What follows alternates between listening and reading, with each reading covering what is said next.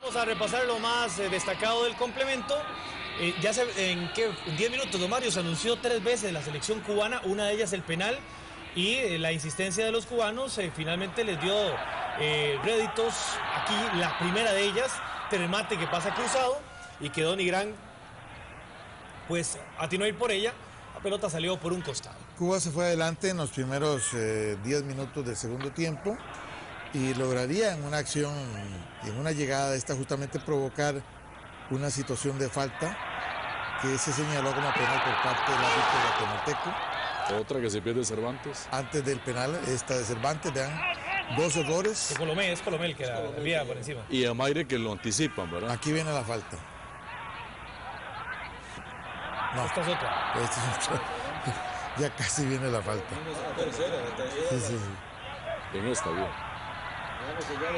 Ahí está, pone el cuerpo, bloquea y el referee cerca, sin eh, titubear, marca la pena máxima.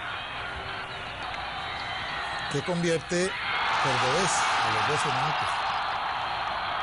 Está Cordobés anotando de penal y se, se premiaba al equipo que había tomado cierta decisión, tal vez no tan claro, no tan lúcido en sus ideas futbolísticas, pero Cuba había hecho méritos para estar arriba en el marcador y aquí con Cordobés se le daba cierto matiz de justicia a lo que pasaba en el partido.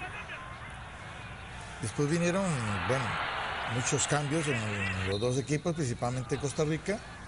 Una jugada, don Mario, sobre todo a balón parado, ¿verdad? Que al final a Costa Rica la va a salvar. Aquí hay un cabezazo de Nelson que ha venido de cambio, pero que de lo poco que Costa Rica produjo en este partido. Esta acción hacia atrás me parece que es Miller y luego Eder Nelson que vino por el callejón derecho y encuentra ahí la jugada sobre el guardameta Cooper para ese remate que pega en el horizontal y se va. Bueno, varios jugadores hoy tuvieron oportunidad de, jugar con la selección. No, no complació ninguno prácticamente, ¿verdad? Habrá que preguntarle al señor J, Pinto. perdón, esa fue las pocas jugadas buenas que se hizo combinando con la pelota pegada al piso. Y luego el final. El gol.